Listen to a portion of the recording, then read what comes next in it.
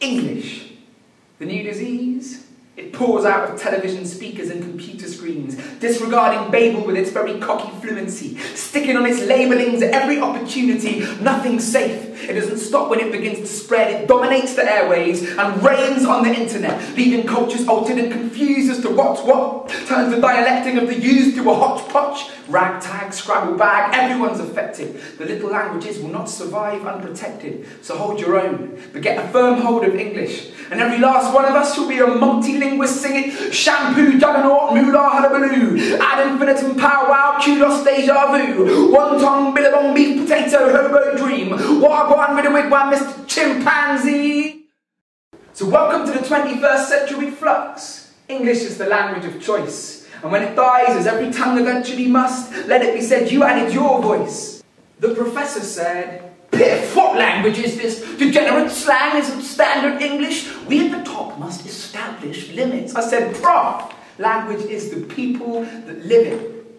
Get loose. Give it some vision and foresight and juice. We can fling the dictionary door wide. I live in a city where it seems like every single idiom is intermingling stream-like, like streams. That no no barriers, no matter what dams and channels are established, they are irrelevant. What matters is the message that is put across and the passion that's invested in it. Nothing's lost. It merely mutates and lets the people speaking it tweak it in new ways. Meaning that meaning is whatever you say, Jilly Jack, Hussein, Iraq to the UK, to all corners, through all twists and bends, six billion personal versions of events. It's thrilling when you think of all the tongues on the jostle to express their puzzle in the best words possible. The more words we have, the more ways we have to express the world we have to coexist in. And if the English language is the lingua franca of this planet, then never say that it should be a closed system. I said, welcome to the 21st century flux. For now, English is the language of choice for the performers. But when it dies, as every tongue eventually must, let it be said you added your voice to the chorus. So English isn't English.